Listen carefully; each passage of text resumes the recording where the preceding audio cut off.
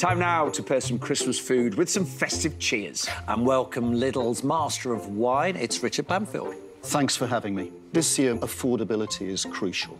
So whether you're after those Christmas favourites or maybe a little bit of festive inspiration, no need to compromise on quality.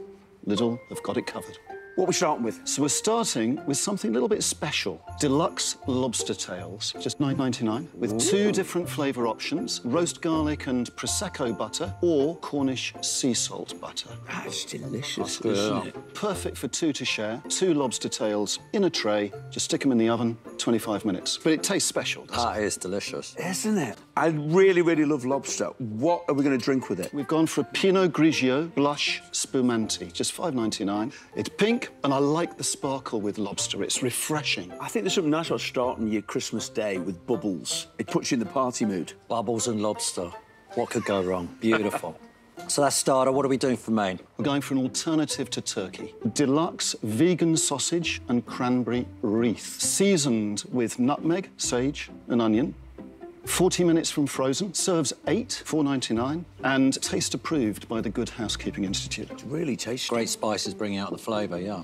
What are we doing wine-wise? So I tried many, but I eventually plumped for an award-winning Chianti Reserva. Plenty of flavour, and it's in the top 2% of all the Lidl wines I've ever tasted. Nice, That isn't is it? outstanding. Yeah, It's really good. Now, it can't be Christmas without cheese. Well, tell me you brought us cheese, Richard. We have cheese, premium, deluxe, waxed cheese truckles, all handmade. They're all $2.49 each. Which one are we going to try first? The Nordic spruce smoked cheddar, which is naturally smoked over spruce wood shavings, and I've gone for a Chilean Chardonnay Reserva Privada, just $5.99. Hold on, Richard. We all know cheese goes with red wine. In countries like France and Italy, they often serve their cheese with white wine. It's got enough flavour to stand up to the cheese, but cuts through it, doesn't it? It does. It cuts through the smokiness. That, that's that's delicious. that works. Yeah. Can't argue with the French and Italians, can you? What's the next one? It's a cheddar with black truffle and cracked black pepper. Mm. And it's got that lovely umami character, very wine friendly. And in this case, I went for a Barossa Valley Shiraz from Australia. It's got the richness of flavour, quite a lot of wine at $6.99. That's fantastic